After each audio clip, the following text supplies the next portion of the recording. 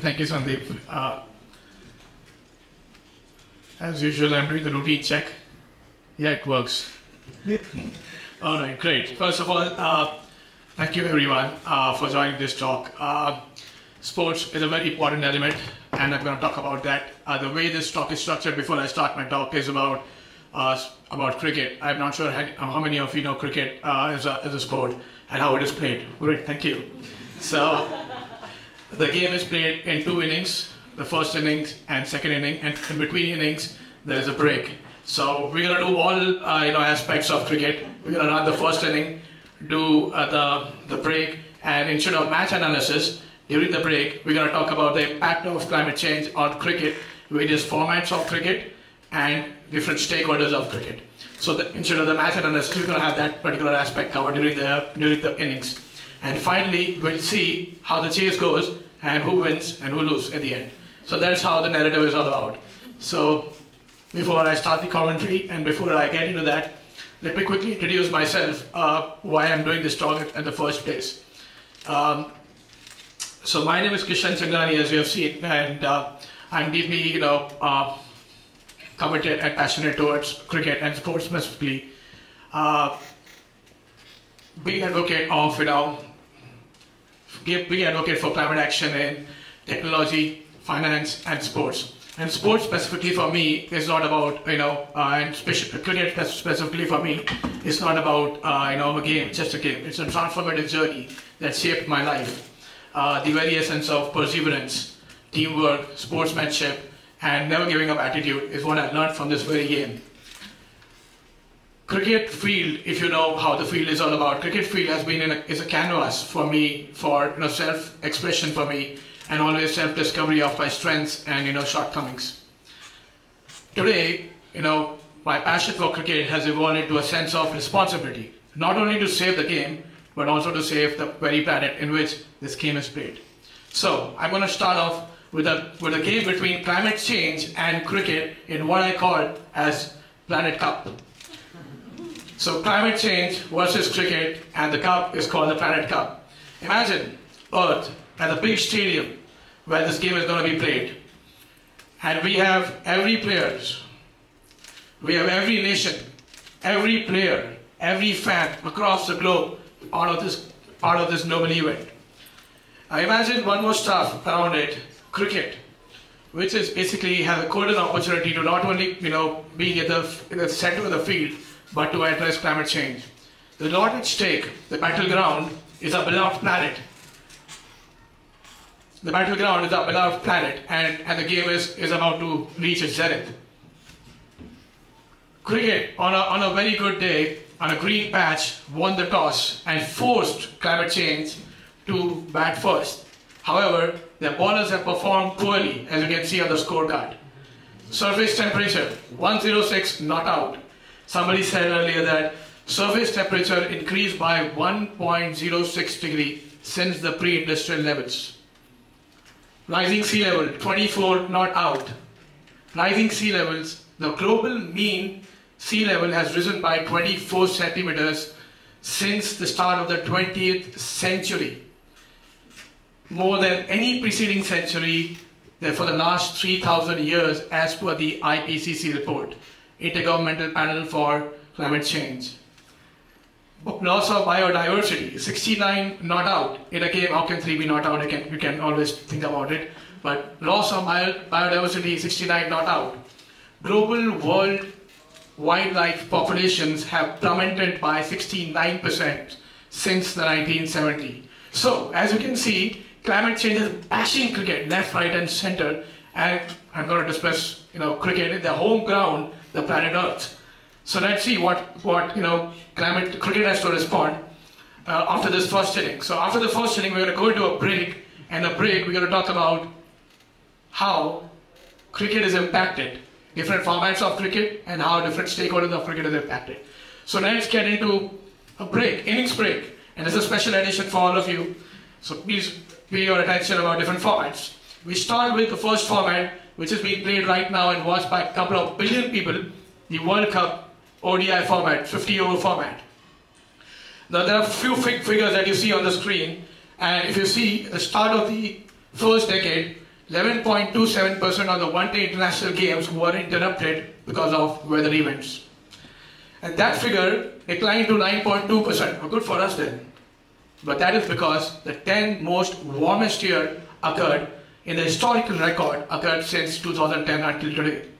So heat is, hot days are good for cricket. But how much heat can cricket bear? That's we're going to explore later on. The staggering 7.03% games were already impacted in the last three years. So you can imagine one day international 50 over format is significantly impacted because of the weather events. Now let's move to the shortest format of cricket, the most beloved format. T20 format, 20 over game, just done in 3 hours, a good competition for football which is done in one and a half hour. But let's see what happens here. 1,847 games were played in the first two decades of this century. And in the last three years, 2,153 games are played, just in the last three years. So, the shorter format is on the rise, but it is not immune to climate change. The climate change impact has quadrupled by four times since the first two decades in the shortest format of the game. Now, some cricket fans, they love the real cricket. Real cricket is what we call the test cricket. Got it? Test cricket. Now, test cricket is played over five days. Nearly one fourth of the test cricket is impacted because of climate change. And in the recent Ashes series, which was played in England, many said that England lost to weather. Bazball, all, all strategy failed and England lost to weather, that's what many said. And that is because, and they, and, they, and they were not able to claim victory against Australia, but very powerful side could not claim victory against Australia and could not regain a famous Ashes Cup or retain, or regain from them. Now, enough of the international, let's see how the domestic cricket has been impacted.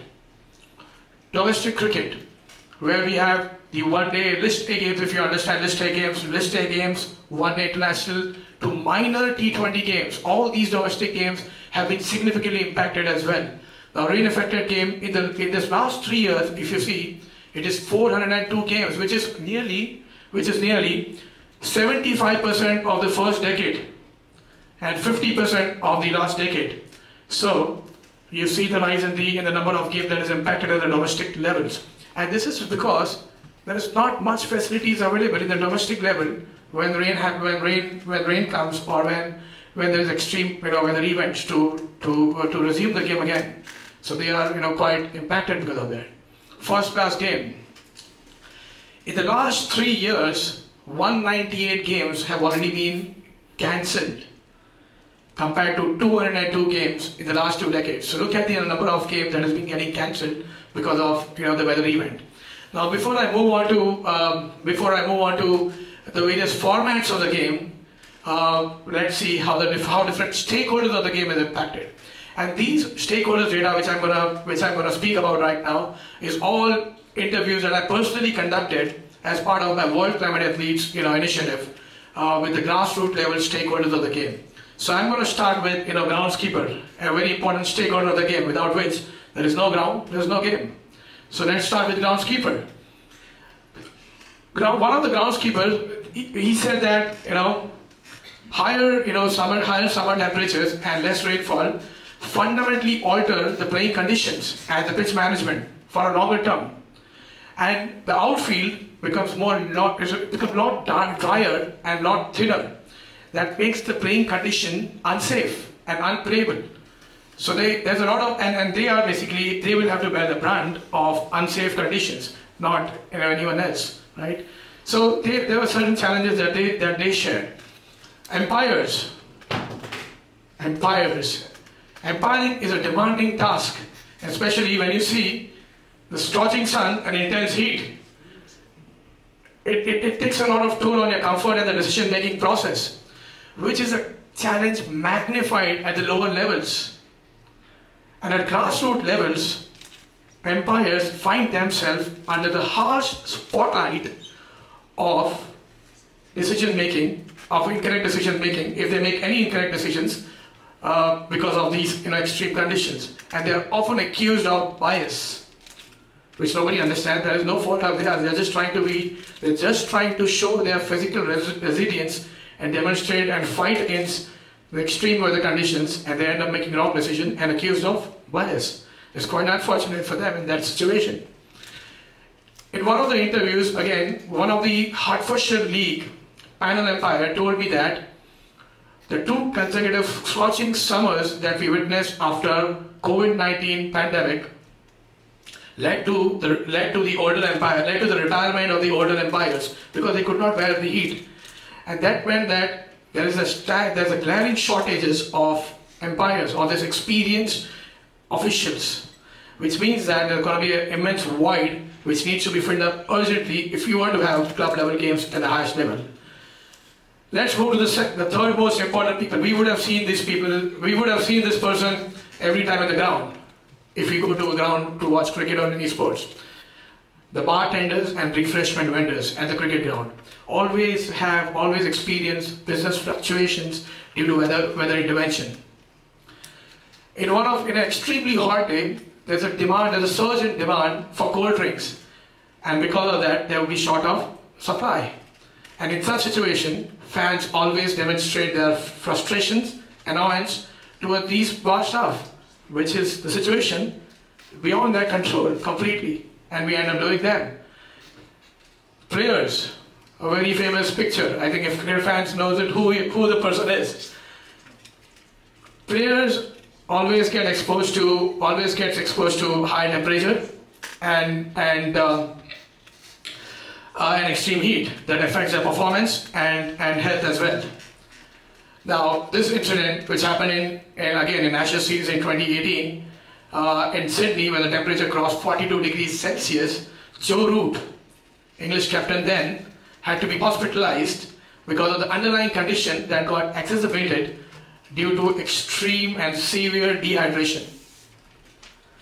Female cricketer, like their male counterparts, had to go through the extreme you know, impact of their health uh, due to their health and the performance because of the because of the weather event. However, female cricketers are more susceptible to exertional heat illness (EHI) than their male counterpart. Junior cricketers. Junior cricketers, young aspiring junior cricketers, are always finding it demanding to to develop a particular skill because of the weather event that doesn't allow them to get enough practice and their practice gets rescheduled. Disabled cricketers. Disabled cricketers always, you know, because of the weather interruption, they, they may encounter challenges uh, because of the accessibility and other discomfort as well. So all stakeholders of game is impacted as well. Before I end this uh, break and get back to the chat, get back to the second inning of how cricket gonna, uh, you know, uh, come back in this very, you know, fascinating contest, it is quite evident that different formats of the game is impacted, different stakeholders of the game is impacted because of this situation. So before I get that, welcome back to the chase of climate change and cricket. Cricket is there almost to get, get to we'll see the response of cricket. The chase is on. The world is watching with bated breath as to how cricket is going to respond to this particular game. Every run scored is a forest preserved. Every boundary scored is a victory against carbon emissions. Let's see what happens. As we approach to 2030, cricket has decided to set new standards of sustainability.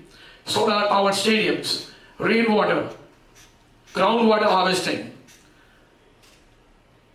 concrete steps taken toward the carbon neutral operations. So cricket is making some really good inroads.